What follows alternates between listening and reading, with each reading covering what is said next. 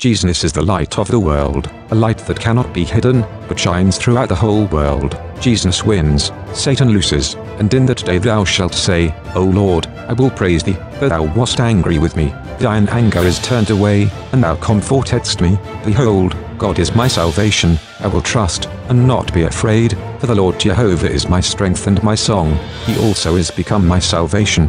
Jesus wins, Satan loses, therefore with joy shall ye draw water out of the wells of salvation. Jesus wins, Satan loses, and in that day shall ye say, Praise the Lord, call upon his name, declare his doings among the people, make mention that his name is exalted.